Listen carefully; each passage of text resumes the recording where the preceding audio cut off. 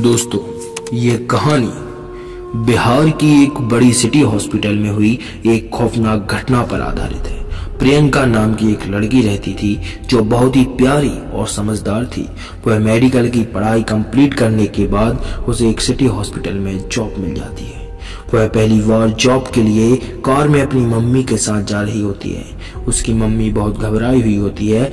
माँ को घबराया हुआ देख प्रियंका ने कहा प्रियंका बोलती है, माँ, आप इतनी घबराई हुई क्यों?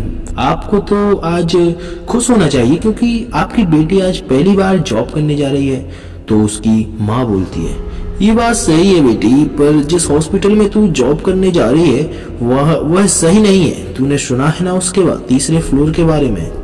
प्रियंका बोलती है, क्या मम्मी, आप भी ऐसा कुछ नहीं होता? फिर प्रियंका अपनी माँ की बातों को नजरअंदाज कर हॉस्पिटल चली जाती है। उसकी पहला दिन बहुत अच्छे से कट रहा था। उसके साथ के लोग भी कुछ अच्छे थे। फिर प्रियंका ने अपने साथ के एक नर्स से तीसरे फ्लोर के बारे में पूछा। नर्स ने बताया, आज से सात साल पहले यहाँ एक औरत का ऑपरेशन किया गया था और उस ऑपरेशन में उसकी मौत हो गई। उसके बाद उसकी आत्मा यही भटकने लगी। फिर तांत्रिक को बुलाकर उसकी आत्मा को तीसरे फ्लोर में कैद कर लिया। और लेकिन अगर जान प्यारी है तो उस दौर की तरफ़ मत जाना और देखना भी मत। इन दोनों की बातें हो रही थी कि बॉय आ जाता है और कहता है बॉय बोलता है, प्रियंका, तुम्हें साहिद सर ने बुलाया प्रियंका, चलिए।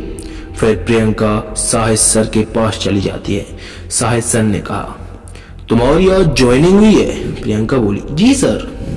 साहिद ने कहा मैं तुम्हें एक दवाई की लिस्ट दे रहा हूँ। ऊपर जाकर स्टोर से ये दवाइयाँ लेकर आओ। पर इंजेक्शन काफ़ी महँगे हैं।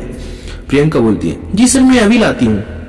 जब प्रियंका ऊपर स्टोर से दवाइयाँ लेकर सीढ़ियों से आ रही थी तो तीसरे फ्लोर पर आते ही उसके हाथ से दवाइयाँ गिर गईं और कुछ इंजेक्शन लुढ़कते हुए फ्लोर के अंदर चले गए। प्रियंका सोची उफ, ये क्या कर दिया मैंने?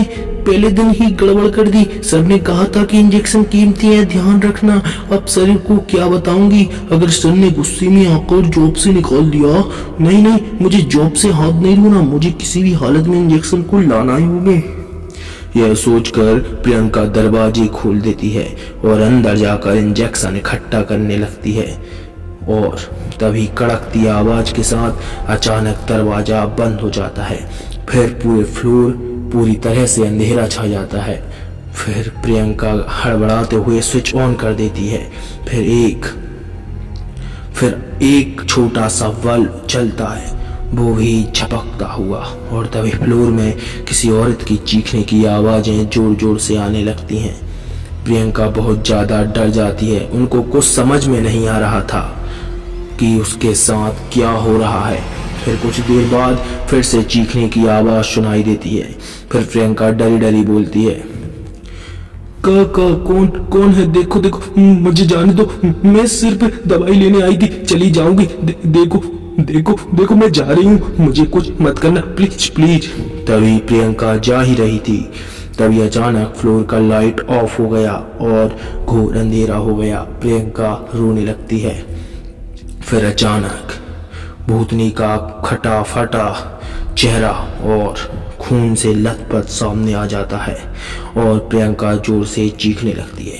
भूतनी बोली बदला लेने में मदद चाहिए। क्या तुम मेरी मदद करोगी? प्रियंका डरी ही बोली, मैं आपकी मदद नहीं कर सकती और मैं क्या मदद कर सकती हूँ? भूतनी गुस्से से बोली, तुम्हें मेरी मदद करनी होगी। प्रियंका डरी हुई बोली ठीक ठीक है ठीक है, मैं आपकी मदद करूँगी। बताइए क्या मदद करूँ? भूतनी बोली। मैं एक बार यहाँ अपने बेटे का इलाज करवाने आई थी तो शाहिद ने कहा, ऑपरेशन करना पड़ेगा। फिर कहता है, उसकी ऑपरेशन में मृत्यु हो गई, लेकिन जब मैंने चुपके से डॉक्टर की बातें सुनी तो पता चला कि मेरा बेटा मरा नहीं था। उसे मार दिया। वो सारे अंग निकाल लिए। और फिर जब मैंने इसका विरोध किया और सबको बता देने को कहा तो इन्होंने मुझे भी मार दिया और सबको यह बता दिया कि मेरी ऑपरेशन में मौत हो गई। शायद अब भी ऐसा करता है, वह अच्छा इंसान नहीं है। प्रियंका बोली, जो तुम कह रही हो, यदि वो सही है तो मैं हर हाल में तुम्हारी मदद करूँगी। फिर एक दिन प्रियंका ने अपने दोस्त को पेशेंट बनाकर शाहिद के पास भेज देती है। शाहिद उसको ऑपरेशन कराने को कहता है। अगले दिन जब शाहिद ऑपरेशन शुरू करने की ही वाला ही था कि तभी पुलिस ने आकर रंगे हाथ पकड़ लिया और लंबी सजा के लिए जेल में डाल दिया। शाहिद को सलाखों में देख, भूतनी ने प्रियंका को थैंक्स कहा और तुरंत अस्पताल को छोड़ दिया और आसमान में उड़ गई। उसके बाद तीसरे फ्लोर को फिर से खोल दिया। अब वह जाने से कोई नहीं डर रहा था। तो एक कहानी आपको कैसी लगी? यदि आपको एक कहानी में थोड़ा भी रोमांच आया हो या आपको पसंद आई हो तो प्लीज़ चैनल को सब्सक्राइब कर लेना, क्योंकि मैं आपके लिए आगे भी ऐसी कहानियाँ लाता रहूँगा।